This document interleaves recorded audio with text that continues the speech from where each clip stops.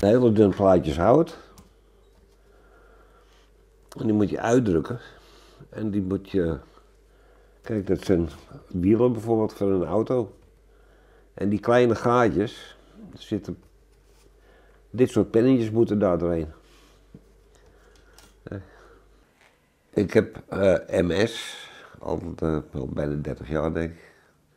Het is uh, eigenlijk het jaar 2000 is pas door, toegegeven door de arts dat het MS is. En ik heb uh, verlamming.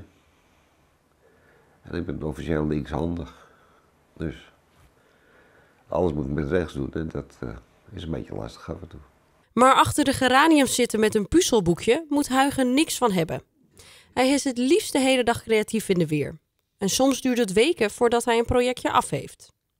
Het huisje staat vol met eigengemaakte kunstwerkjes. Een favoriet heeft Huigen dan ook niet. Ik vind dat eigenlijk allemaal wat ik heb gedaan, gemaakt daarvan, dat vind ik, vind ik gewoon leuk.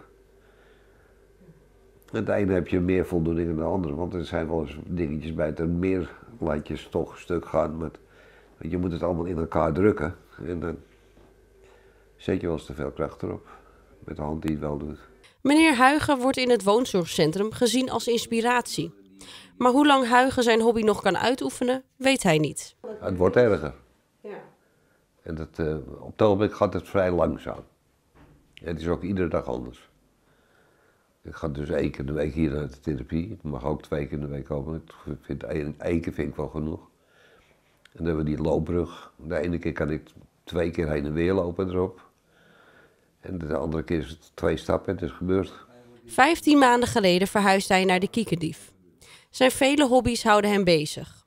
Want het gemis van zijn vrouw, die nog thuis woont, is erg groot. Ik heb ook een hele actieve vrouw. Dat, uh...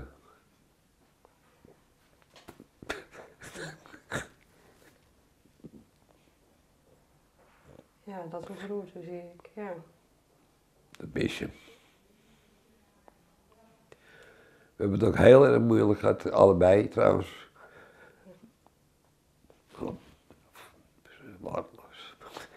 Met, uh, met de auto die nu de eerste, dit is de eerste keer dat ik had 65 jaar.